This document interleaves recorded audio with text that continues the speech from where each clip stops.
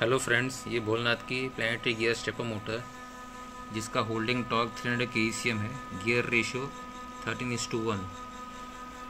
इसके मोटर की maximum output RPM zero to one thousand है, और प्लानिटरी गियर बॉक्स के साथ इसका आउटपुट आरपीएम है ज़ीरो टू सेवेंटी फाइव